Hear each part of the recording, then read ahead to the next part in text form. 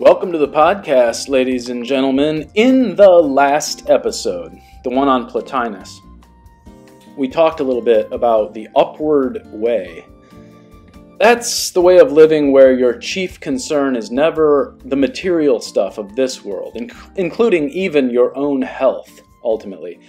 Instead, if you follow the upward way, your main concern is with God and righteousness. We're going to talk more about that in this episode in two different ways.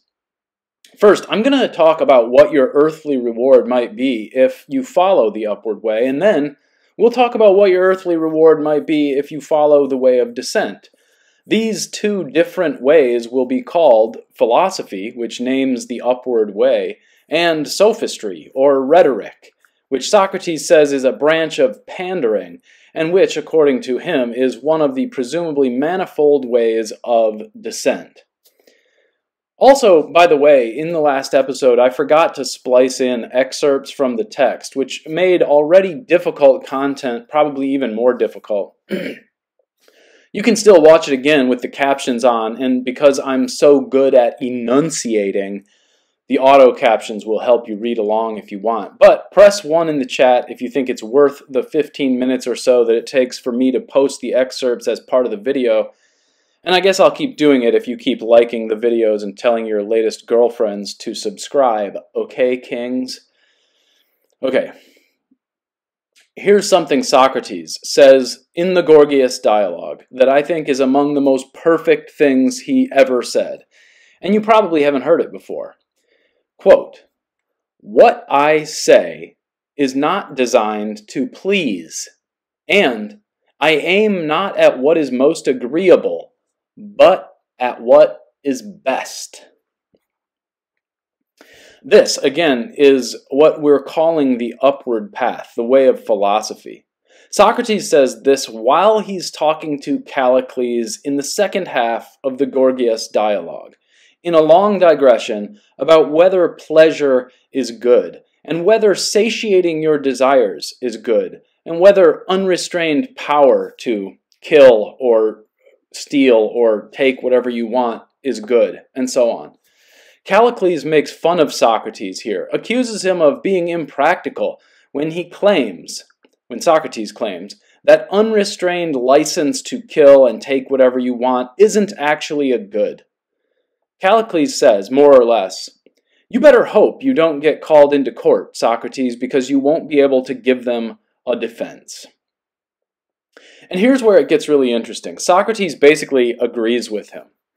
He says, continuing, same page, all this stuff, he says, quote, because I aim not at what is most agreeable, but at what is best, and will not employ the subtle arts which you advise, I shall have no defense to offer in a court of law.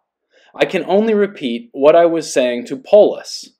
Now, Polus is one of the other interlocutors here on this dialogue. He's, he's taking the side of Gorgias. And here, Socrates tells one of the finest, finest little analogies in his entire orations.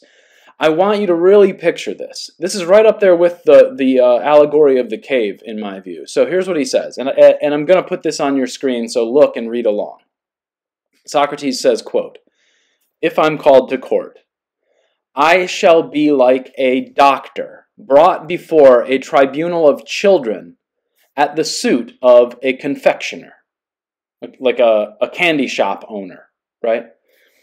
Imagine what sort of defense a man like that could make before such a court if he were accused in the following terms Children, the accused has committed a number of crimes against you. He is the ruin of even the youngest among you with his surgery and cautery. He reduces you to a state of helpless misery by choking you with bitter draughts and inflicting upon you a, regi- a regime of starvation, which cuts you off from food and drink. What a contrast to the abundant and varied luxury with which I, the confectioner, have entertained you.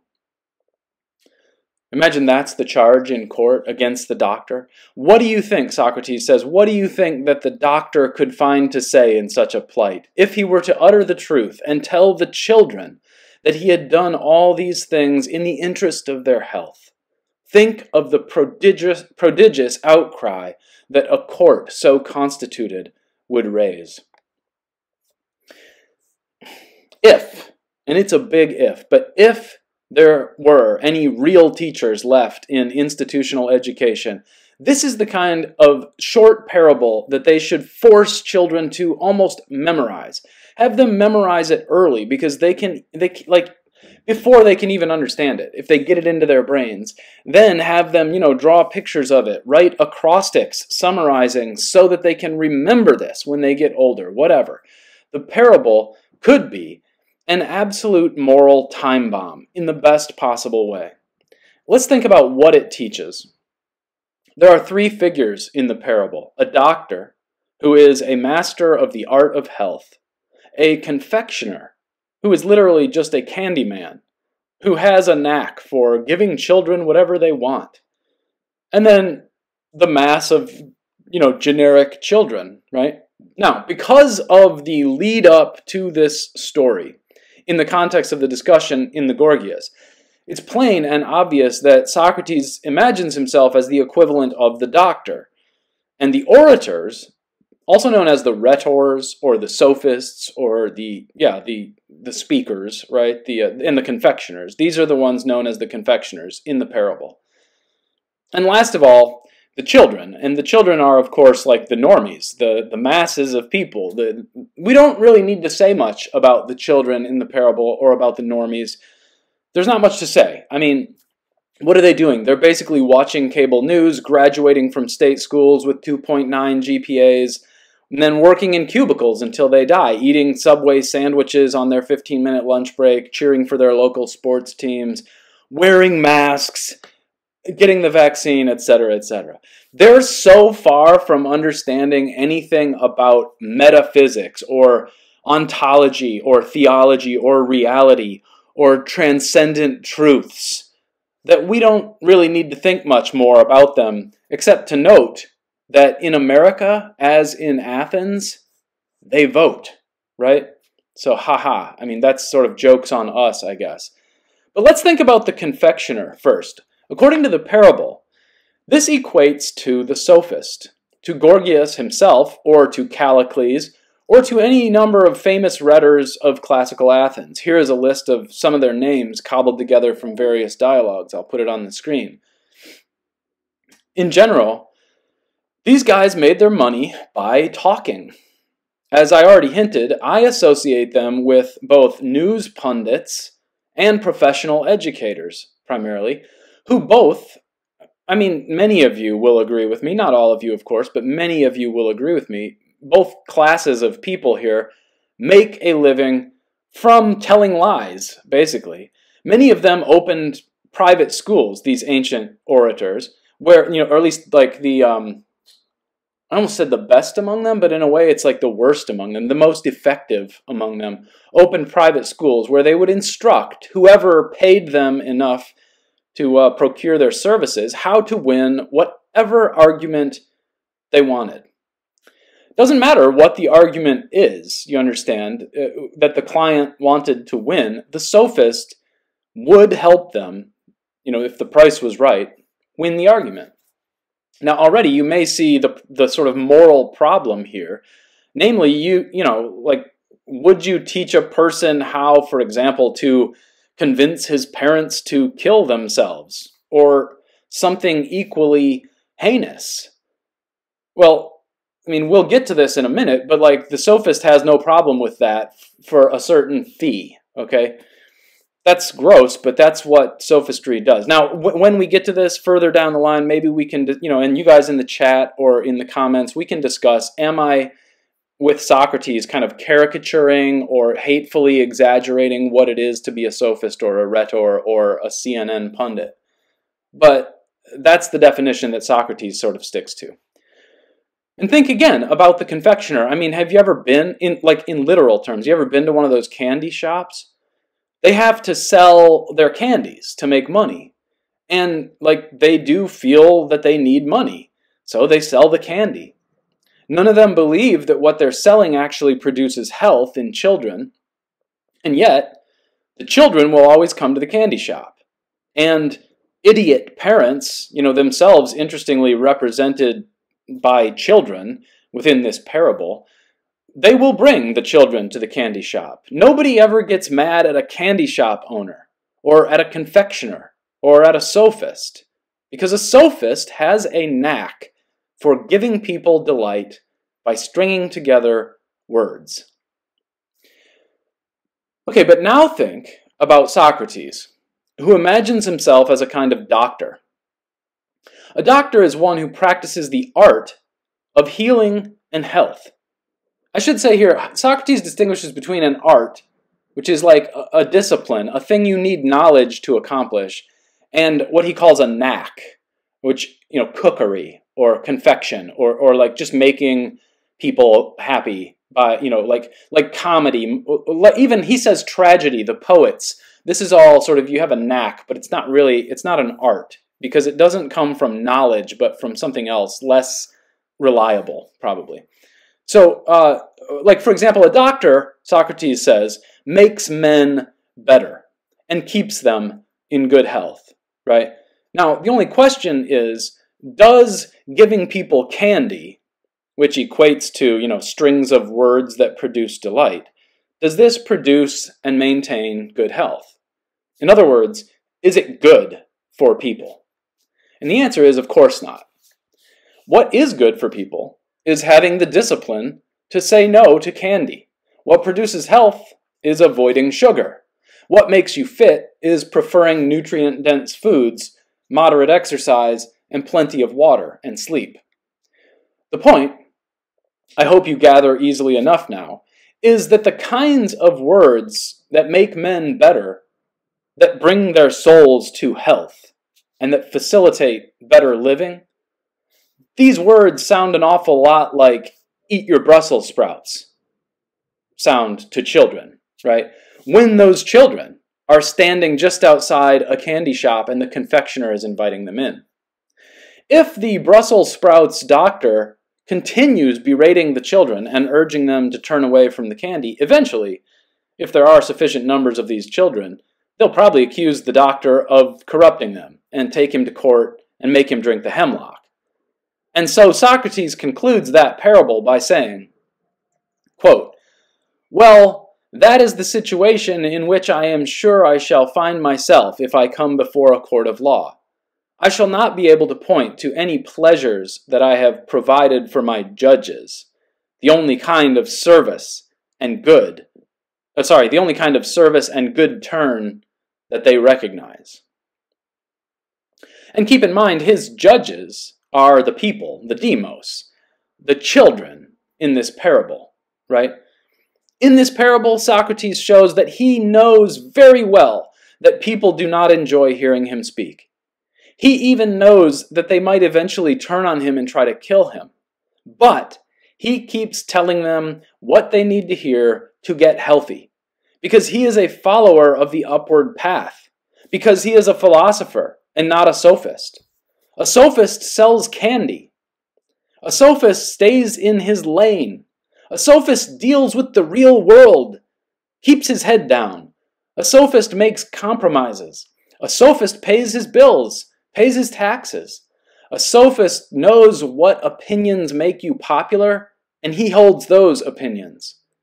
And everybody loves him, for he's a jolly good fellow, for he's a jolly good fellow. Okay enough of that. Now, let's connect that little bit to the more direct part of the Gorgias dialogue, the part where Socrates is discussing the nature of sophistry, which he also calls oratory, and which is now, at least in academia, generally referred to as rhetoric, with like a capital R. But while we're paused here, I just want to show you how um, the very modern writers of Wikipedia frame this perennial contest between philosophy and sophistry. Here's a little quote from the page on Gorgias. For almost all of Western history, Gorgias has been a marginalized and obscure figure in both philosophical thought and culture at large.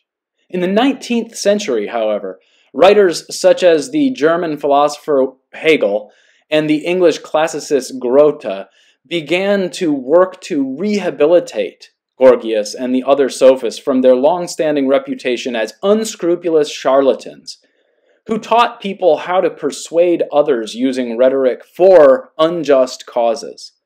As early as 1872, the English philosopher Henry Sidgwick was already calling this the old view. Modern sources continue to affirm that the old stereotype of the sophists is not accurate. What clown world we live in now. I, I, I, your host, of, cor- of course, hope to rehabilitate the view that the sophists are indeed unscrupulous charlatans, mountebanks, even. But I expect that if I have too much success framing it that way, I'll eventually have to drink the hemlock. What a shame. The dialogue begins with a bunch of guys inviting Socrates to hear Gorgias speak. Gorgias has promised to answer any question anyone puts. And everyone knows Socrates loves to ask questions, so they all anticipate a prize fight. So the conversation begins gradually by asking, What sort of man is Gorgias? And what the Socratic side means by that question is, well, if a man practices the art of healing and health, we call him a doctor. And if he makes pictures, we call him a painter. So very quickly the question becomes, what is the art in which Gorgias is an expert? And you might assume it to be something like speech making, or oratory, or rhetoric, or the use of language to persuade, or whatever. And that is Gorgias's initial answer. But Socrates then says to him, You say that you understand the art of oratory and can make orators of others. What is the object with which oratory is concerned? Weaving, for example, is concerned with the production of clothes, is it not? Gorgias says yes. And music, with the creation of melodies? Yes. What is the, sorry, and what is oratory the knowledge of? And Gorgias says speech. Okay? But here, Socrates puts a mas masterful question to Gorgias. He says, Does medicine, which we mentioned just now, make men good at thinking and speaking about the sick? Gorgias says, necessarily. And so Socrates says, so it appears that medicine too is concerned with speech. Now, what Socrates is pointing out here is that even if the orator can prove to be more persuasive than the masters of any given discipline, it won't be for the good. For instance, take something like physicians recommending a healthy diet.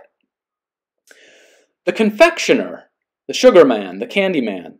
He has not mastered the art of health making to the same degree as a physician. If he had, he would be a physician. But in spite of that, the confectioner might be more persuasive than the physician. But if he is more persuasive than the physician, theoretically, it won't be for the good of the children, right? And to make this point clearer, Socrates shows Gorgias that there is a distinction between knowing and believing. And he says there can be false belief, but not false knowledge. And once he gets uh, Gorgias to sort of concede that point, it's easy from there to prove that rhetoric merely produces belief. Belief which can be true or false, and never knowledge. And so, demonstrably, it is a less reliable thing than any of the arts of which one might become a master. Now, as Socrates says, when the citizens hold a meeting to appoint medical officers or shipbuilders or any other professional class of persons, surely it won't be the orator who advises them then, right? So if you're going to build a big building or a new home or a town hall or whatever, you're going to hire an architect, someone who has built a ship or somebody who knows how to do something physically, not an orator. Now, Gorgias gives some interesting counterexamples here. One of them, he says something like, look, it is ultimately the orator, though, who determines sort of which things the town is going to build, you know, a, a, a harbor or a city hall or whatever. And so the orators run the world.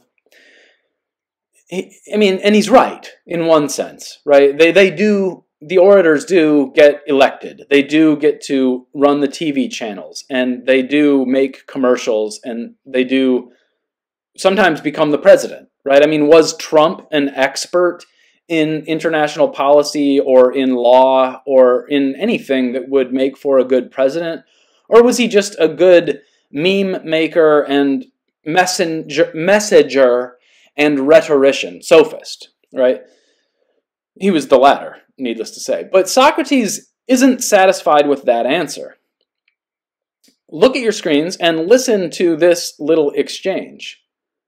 Socrates, you say that you can make an orator of anyone who likes to learn from you. Gorgias says yes. And consequently, he will be able to get his way before a popular audience, not by, I should say, not by instructing in knowledge, but by convincing in belief? Gorgias says, Certainly.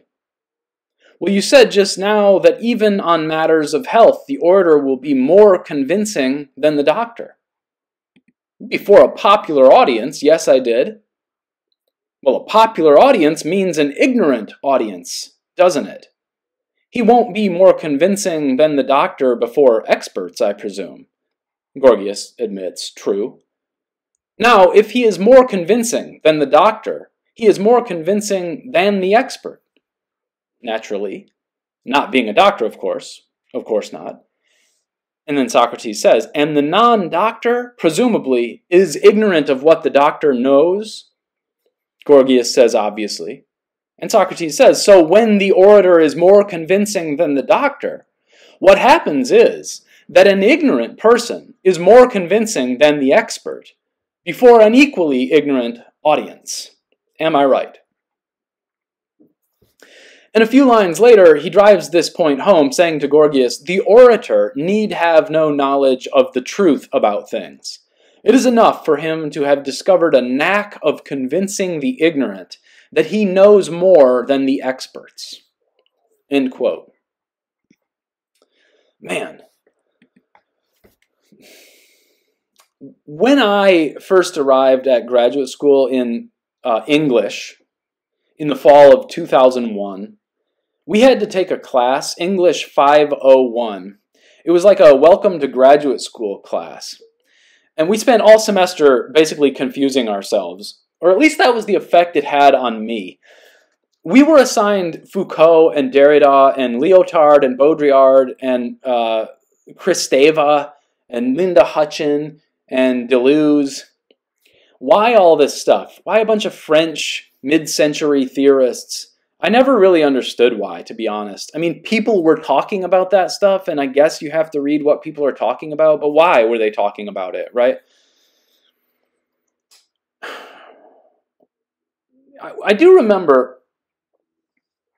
So, you know, you have to take about three or four classes a semester in graduate school. And I remember at the same time, I was taking this class in the 18th century British novel.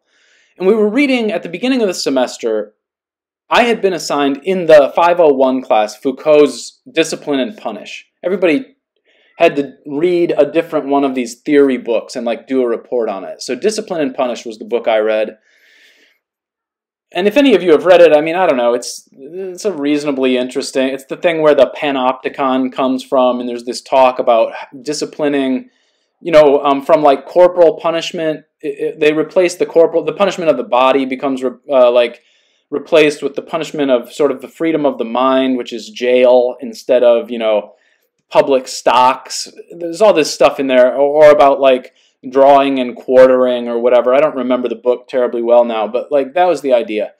And so I had just read that at the beginning of the semester, first semester. I'm 23 years old. I've only read like 15 books in my life as an undergrad English major. And uh, in the in the British novels class, we were reading this book by Richardson called Pamela. Franz knows it, I'm sure. And it was it's an epistolary novel, which means it's a novel in the form of like letters being exchanged. If I remember between like a maid I can't remember who she's writing to, like either her friend or something, and she's I think she starts to maybe have an affair with like the master of the the uh, chateau or something like that. And there's a scene in the book that my teacher was really interested in one day. So we're sitting around in a circle of, you know, 12 like most of them young women and me basically just kind of like going, why are we reading this shitty book about a dumb woman having an affair? Like it seemed so irrelevant to me. I didn't enjoy it.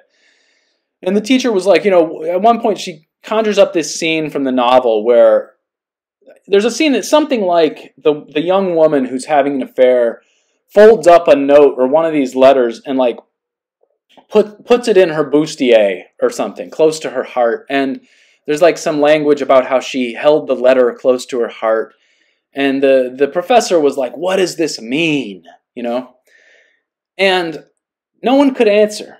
Or they tried answers and the professor was like not satisfied. And finally i, I kind of was like you know reluctant raising my hand and i go i don't know if this is what you're interested in but i'm reading that book by foucault that everybody seems interested in called discipline and punish for this other class. And she her eyes go like lit up you know and i go and in that book foucault says something about how our writing can become a substitute for the body or something. And she's like, ah, you know, she's quivering now. And I'm like, so maybe in this Richardson book, I guess there's something that where it's like this girl imagines that she's holding the letter, but it's really the body of her, you know, potential lover close to her heart. And like my professor basically had an orgasm.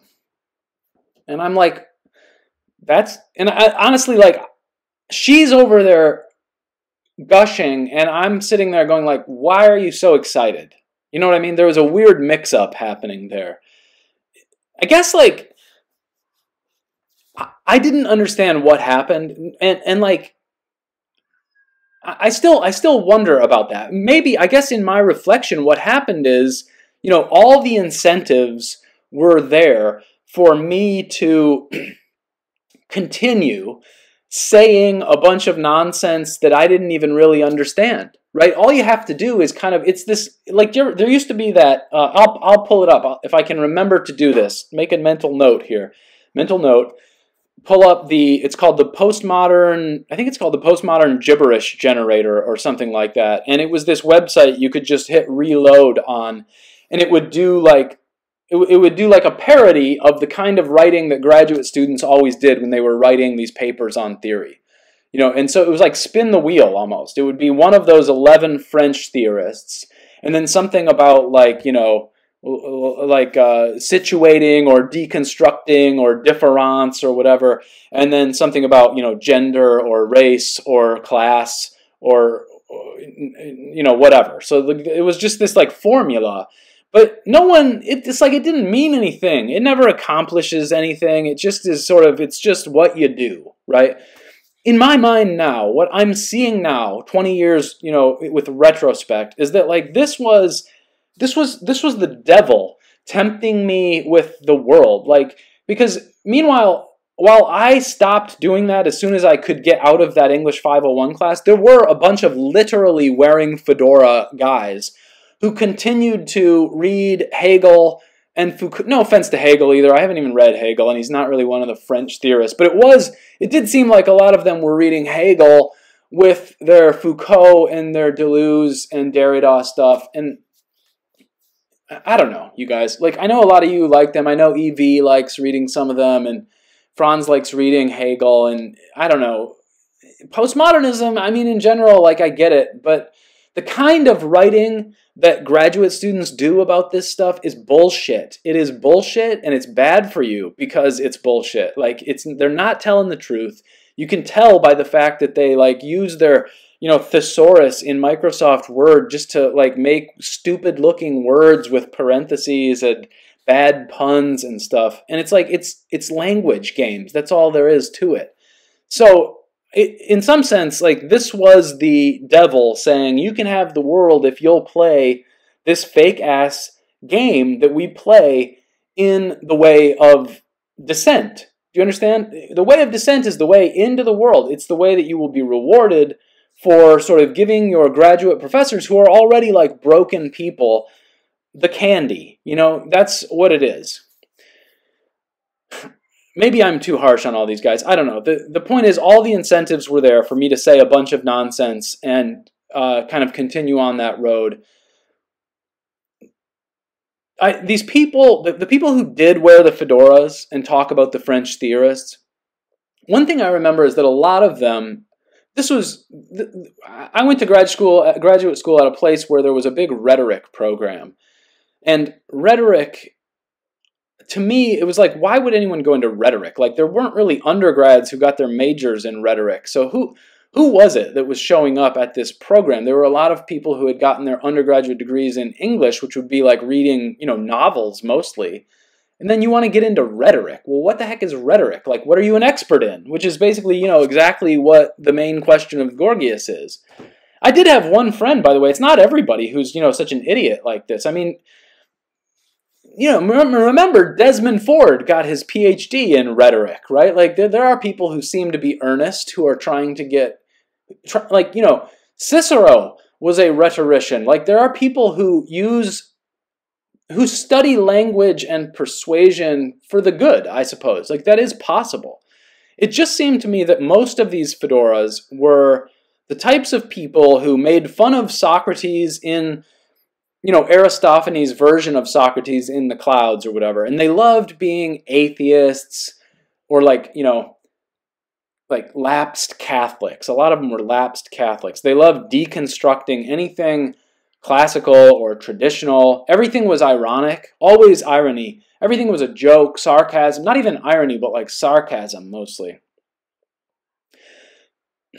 I remember like the, the, the, these guys at one point these guys started calling me I used to I used to like host I didn't do this formally, but it people I mean and not to brag, you know, not to brag.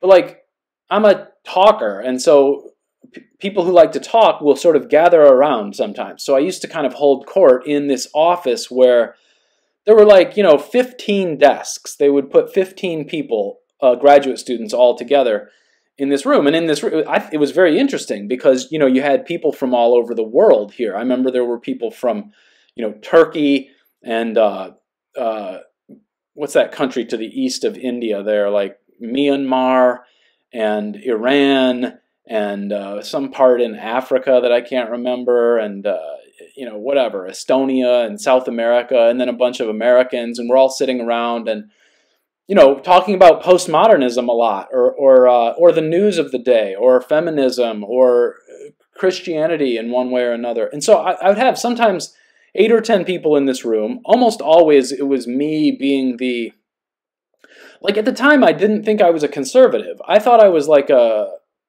uh, like um, a true agnostic. You know, like I thought, although I was an atheist or I called myself that at the time, I wasn't a like Richard Dawkins, Sam Harris type of atheist. I was more like I really wish I wasn't an atheist and I want to know what's going on. You know.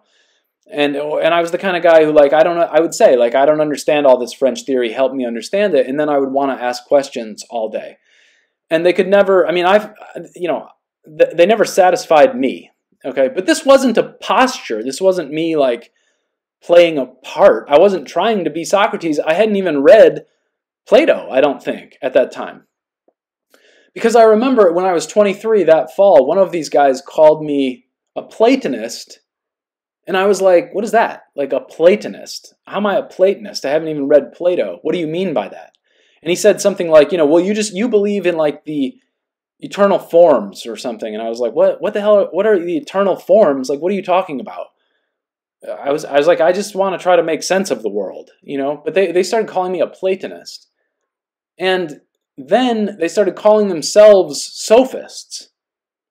And i was like what's a sophist? Why are you a sophist? What is that? You know? And so then i that was the semester i went and got this book the gorgias. And it took me a while to really understand it. I did have one friend, as I said, who was in rhetoric for the right reasons. He actually quit after his master's degree and went to become a lawyer like Cicero because uh, he felt that they were so full of shit in the rhetoric and composition uh, discipline, the fake art of rhetoric, that it wasn't what he was looking for. But uh, uh, what was I going to say about him? There goes my guy with the pine straws driving by. I got to stop him one of these days. But anyway, so like you know, when you read the Gorgias, what comes into focus is this distinction between philosophers who practice the upward way, the way of ascent.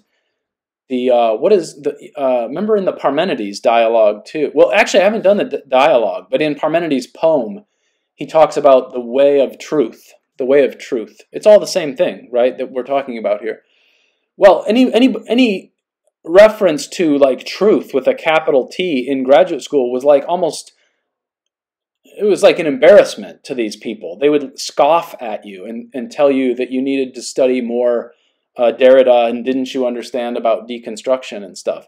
So that's where we were in 2001. And eventually what happens is you read you read Plato and and then you go bowling or to like you know basically like grad school cocktail parties with these self-described sophists.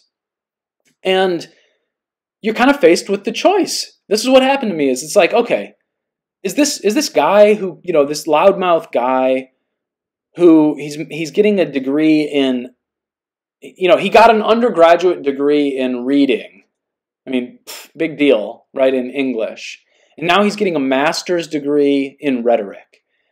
And he's telling me, and we're both 24, you know, and he's telling me that like he's past Plato.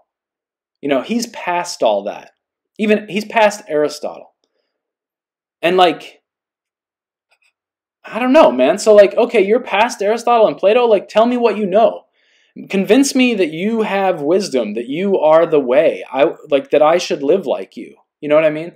And uh, the only thing I'll say, like maybe this is to my credit, they never convinced me. Like they they never I and it was like I'm not even that sounds like I'm like haha I won, but it's not that. It's just like I I was genuinely frustrated.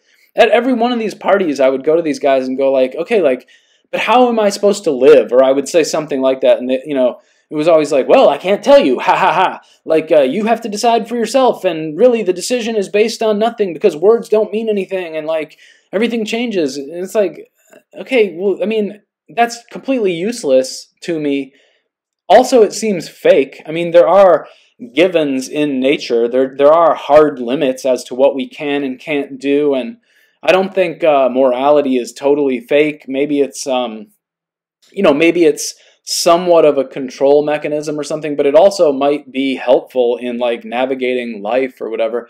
But you could never pin them down on anything, and ultimately, like I'm, I got to a point where I followed deconstruction, I followed the logic of postmodernism close enough to something like nihilism that I was like, you know what, if that's all there is over here, you know, the um the like the kind of playful like they love terms like aporia in the you know in the non-mystical non shaman like, non spiritual, non teleological, non ends driven sort of way. Just pure like confusion for the sake of confusion.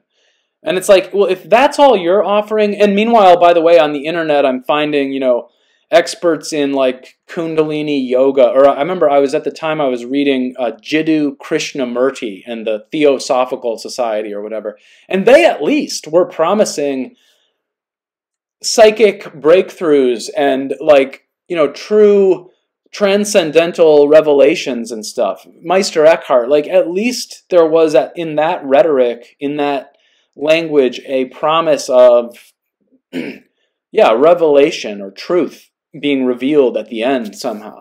So i don't know how anyone would side with these um, charlatans these mountebanks but um, you know, as that clip said from the Wikipedia page, like the mo- the postmodern or the modern, like yeah, I would say basically the post French Revolution view of these sophists is that like no, actually they're sort of good, and Socrates went too far in shaming them, and really Socrates himself was kind of like a sophist. They love to say that. It's like because yeah, Socrates used words, and therefore he's a sophist. It's like no, because he's not using them to make money. Socrates was famously penniless and shoeless and ugly, and even his wife seemed to kind of hate him, and he was unpopular, and they killed him for it.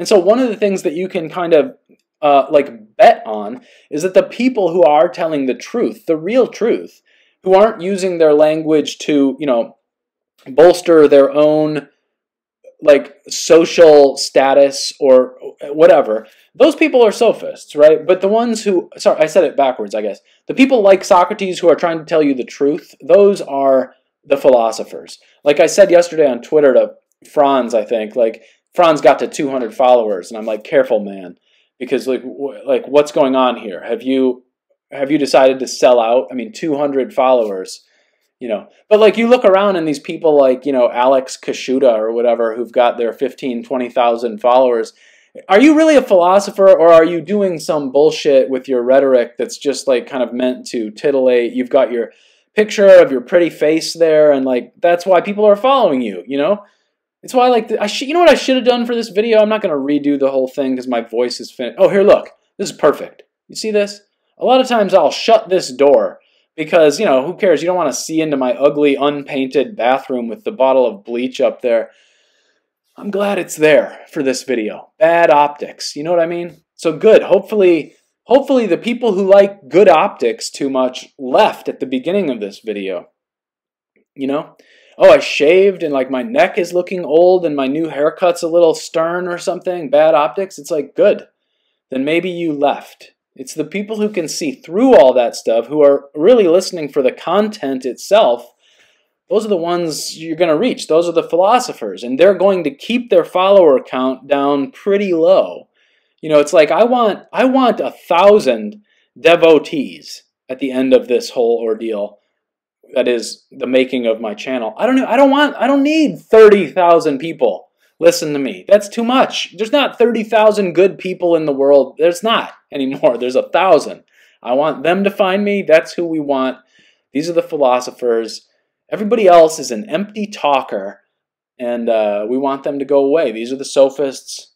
These are the Gorgiases of the world. They, by the way, they make the money. Oh, that reminds me. It's from, what is it, Matthew 10? I'll pull it up here real quick. It'll be right here in a minute. If I can remember this part too, make another mental note. My buddy Late Empire posted a tweet, and if if he he doesn't like to be doxxed or whatever, so if it's if it's uh if it's on private, I'll just retype it and put it up there. But the idea was, I think he was just quoting Matthew 10, I think, where Jesus says, you know, I have not come into the world to make peace. He's not a sophist, right? He says, look, people, this is going to cause people to hate each other. Basically, it'll be difficult.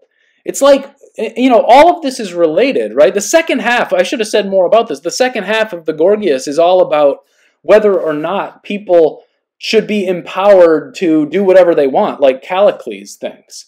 And Socrates says no, because that's bad for them. Look at what happens if you leave kids unattended and free in the candy shop. They get diabetes. It's terrible for them. And so we need to Make them come inside at 5 o'clock and eat a healthy dinner and go to bed on time and get up on time. Study, you know, exercise, not watch too much TV. This is what we have to, like, sort of, um, you know, force on them, or else they end up unhealthy and disordered and degenerate and fat and uh, lascivious and all those vices. Okay? But if you're the kind of parent who holds the line, I mean, how easy, you guys, those of you who have kids know that I'm right. How easy it is to be a sophist and just to give your kids the candy. Give them an iPad. Let them watch Dora all day on Netflix or whatever. Simple. What's difficult is to play with them outside all day, make them read old books, and go to bed on time. I'm out of time. I could rail about this forever. The Gorgias is thin, easy to read, a great starter if you don't have time to get all the way through the Republic necessary reading. Talk to you next time on the Godward podcast.